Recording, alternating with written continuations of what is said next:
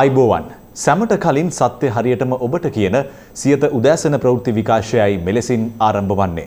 මම චමුත් සත්‍යපාල පුවත් සිරස්තල වෙතයි ප්‍රථමයෙන් අවධානය.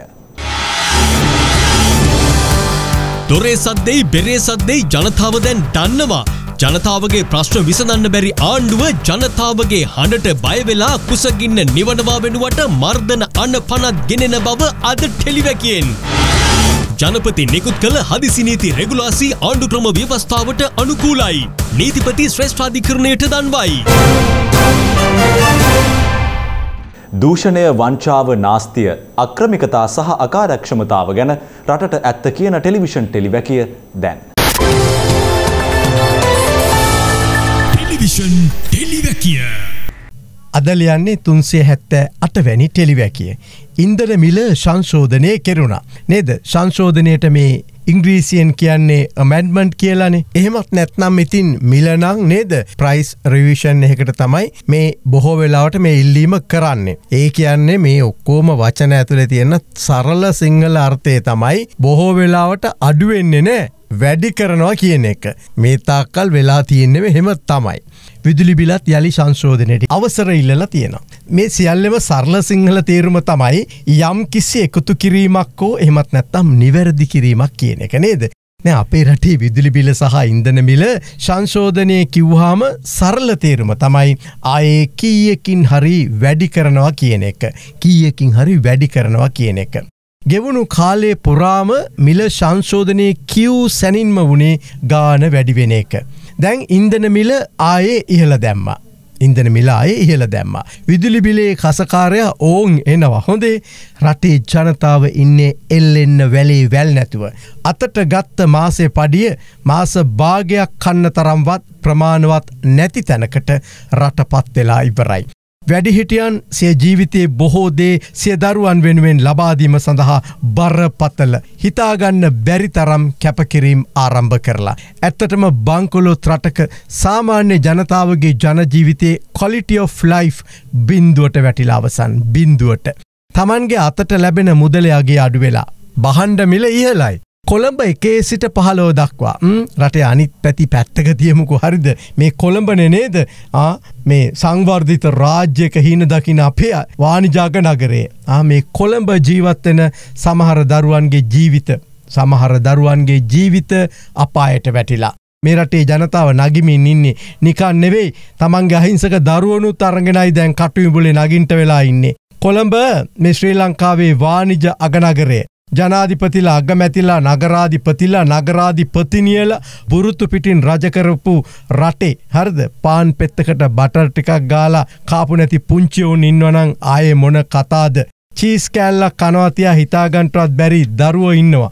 චීස් හැම්බේකර් මස්මාලු පැත්තක තියමුකෝ බිත්තරයක් එක වේල් තුනම කුසපිරෙන්ට කණ්ට නැති දරුවන් මේ කොළොම්පුරේ ඕන තරම් ඉන්නවා.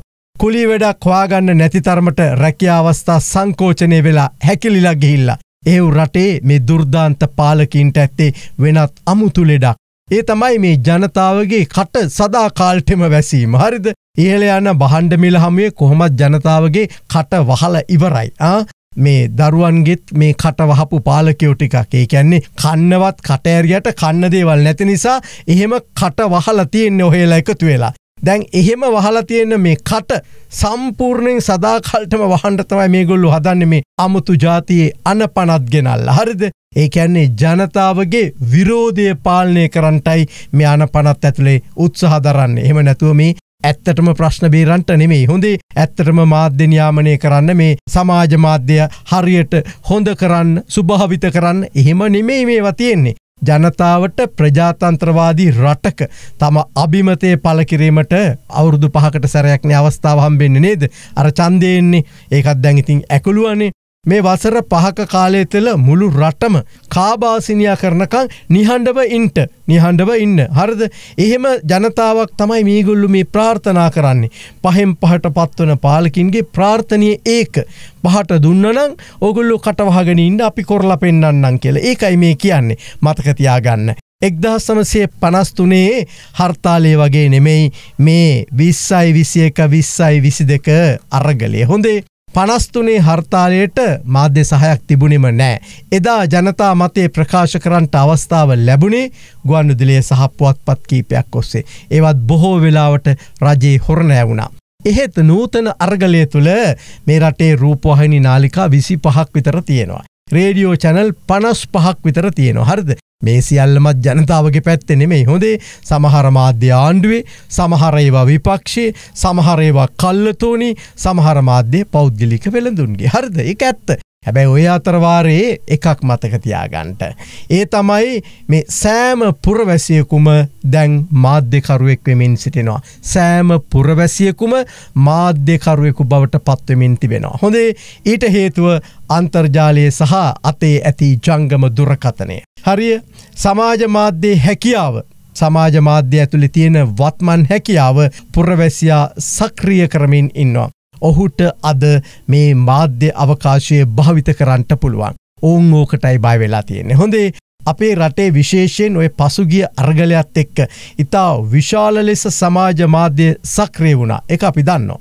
වර්තමාන පාලකින් දැන් මේ කන්නවත් කටාරින්නේ නැති කන්න කට ඇරියතිතින් කන්ට දේවල් නැති ආංගේ ජනතාවගේ විරෝධාකල්පය හඬ මර්ධනය කරන්ටයි මේ අනපනත් ඔස්සේ උත්සහ කරන්නේ. ඇත්තම කිව්වෝතුන් රනිල් සහ රාජපක්ෂ ප්‍රමුඛ ආණ්ඩුවට ඕනේ ජනතාවගේ කටවහලා ආණ්ඩුවේ බලය රැකගන්න. ආණ්ඩුවේ බලය රැකගන්ට එහෙම නැතුව වෙන දෙයක් නෙවෙයි. හොඳේ IMF පමා වෙනවා. ඖෂධ මගඩි ගොන්නයි. බහන්ඩමිල විදුලිබිල ඉන්දන මිල මේවා හෝගාල ඉහල යනවා. මේවා හමුවේ ජනතාවගේ විරෝධය මාධ්‍ය ඔස්සේ එලි දැක්කිවීම. විශේෂෙන් සමාජ මාධ්‍ය ඔස්සේ එලි දැක්වීම වලක්ව ගන්ට ඕනේ. ඒ අයි තමන්ගේ බලය රැක ගැනීම මේ දුර්දාන්ත පාලකින්ගේ එකම අරමුණ. චන්දයට වංගු ගැහුව වගේ මේ උන්දල හිතාගෙන ඉන්නේ සමාජ මාධ්‍යත් එහෙම මර්ධනය කරගෙන තම පාලනේ මේ සදා කාලික කරගන්ට පුළුවන් කියලා. හොඳේ ටෙලිවකි අවසන් කරමින් අපට කියන්ට ඇත්තේ මෙහෙමයි. දොරේ සද්දෙයි බෙරේ සද්දෙයි දැන් ජනතාව දන්නවා. හොඳේ සෑම පුරවැසියකුටම තම අත ඇති ජංගම දුරකතනය තුළ අන්තර්ජාලය තුළ සක්‍රිය වුණොත් තමුන්ලට සිද්ධ වෙන්නේ දනගහන්ට නෙමෙයි බඩගාන්ට හොඳේ ඕන් අද ටෙලිවැකිය අවසන් කරනවා මාධ්‍ය මර්ධනයට අතතියපු හැම උන්දම අන්තිමට නතර වුණේ දේශපාලන කුණු කූඩේ කියලා මතකතියාගන්ට හොඳේ දැම් මේ අතේ තියෙන ෆෝන් එකත් නේද?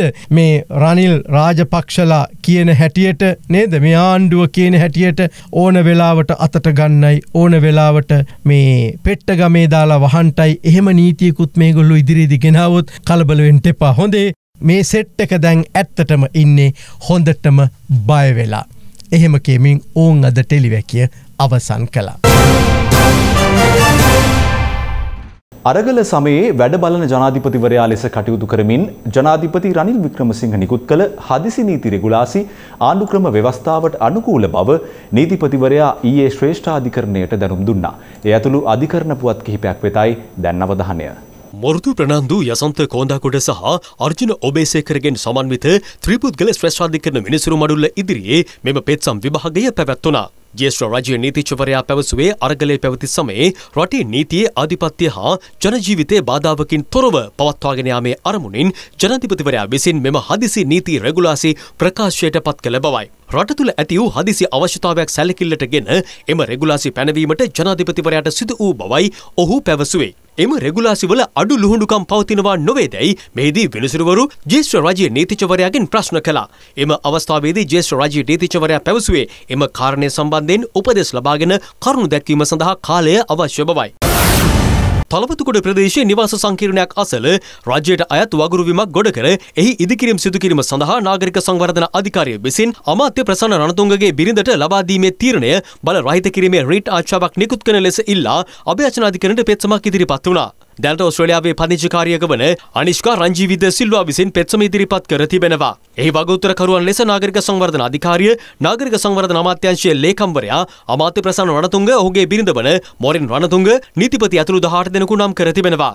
කරුණු සොයා බැලීමේදී නාගරික සංවර්ධන අධිකාරිය විසින් මෙම ඉඩම් ඇමති ප්‍රසන්න රණතුංගගේ බිරිඳට ලබා දීමට කටයුතු කර ඇති බව අනාවරණය වූ බවත් එය සම්පූර්ණයෙන්ම නීතියට පටහැනි බවත් ඇය පෙන්වා දෙනවා. ඒ අනුව අදාළ ඉඩම පැවරීමේ ක්‍රියාවලිය සම්පූර්ණයෙන්ම නීතියට පටහැනියයි තීන්දුව කොට එය බල රහිත කිරීමේ රීට් ආචාවක් නිකුත් කරන ලෙසත් පෙත්සම්කාරිය ඉල්ලා තිබෙනවා.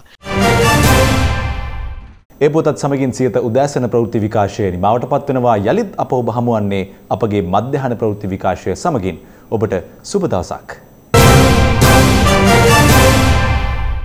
රටේ ලෝකෙ සිදුවන උණුසුම් පුවත් දැනගන්න සියත නිවස් YouTube channel එක අදම subscribe කරන්න.